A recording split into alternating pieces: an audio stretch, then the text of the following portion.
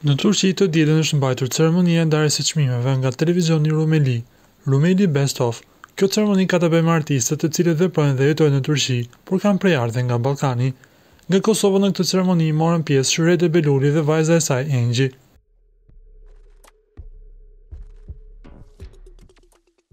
Në një intervistë, ajo ka treguar se qëllimi i kësaj ftese ishte prezantimi i saj me këngën kushtuar shqiptarëve të Turqisë, të cilën e ka sjellë në bashkëpunim me këngëtarin turk, Sinan Akçil, në vitin dy mijë e njëzet.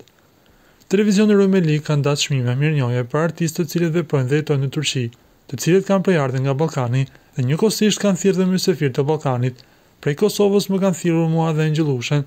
Qëllimi ka qenë që unë të prezantohem me këngën që e kam me Sinan Akçil, që e kam për shqiptarët e Turqisë. Po ashtu dhe një performancë me Engjin. Dhe kemi marrë atë çmim që e kanë marrë edhe aktorët tjerë, ka thënë Shyretja.